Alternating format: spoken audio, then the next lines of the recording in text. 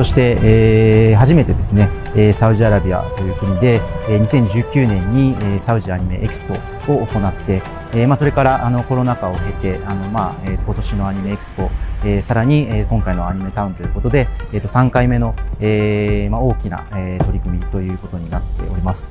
えーまあ、その中でやはりあの、まあえー、と日本のアニメ、えー、というものがどれだけサウジアラビアのあのアニメファンの方たちに、えー、受け入れられているかあというところ僕らはあの肌を、えー、とひしひしとあと肌で感じてき、えー、ておりまして、えー、そういった思いを、えー、しっかりとですね、えー、セラ社と、えー、一緒に、えー、実際の本本物のアニメの体験をここに、えー、持ってくる、えー、アニメだけではなくてあの日本の文化も含めて、えー、サウジアラビアの人々に、えー、紹介したいという思いで、えー、セラと一緒に今回このアニメタウンを実現しました。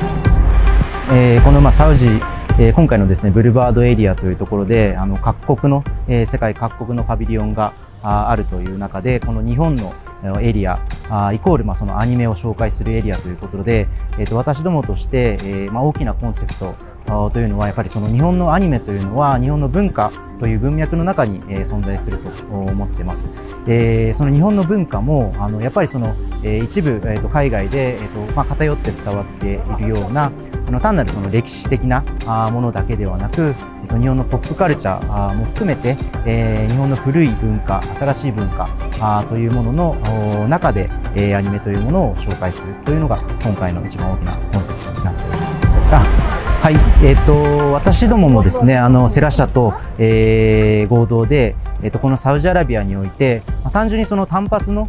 イベントえっと、まあ、今回このイベントが楽しくできたからそれでよかったねということではなくしっかりとその長期的な中長期的な視点で、えー、サウジアラビアで日本のアニメってこういうふうに、えー、いいよねと。だから、えー、とこういう、えー、と日本のアニメアニメの仕事に関わりたい人が増えたりですとか日本のアニメを作りたいと思っていただける人が増えたり、えー、そういったその社会の、えー、と大きな、えー、産業を作っていく、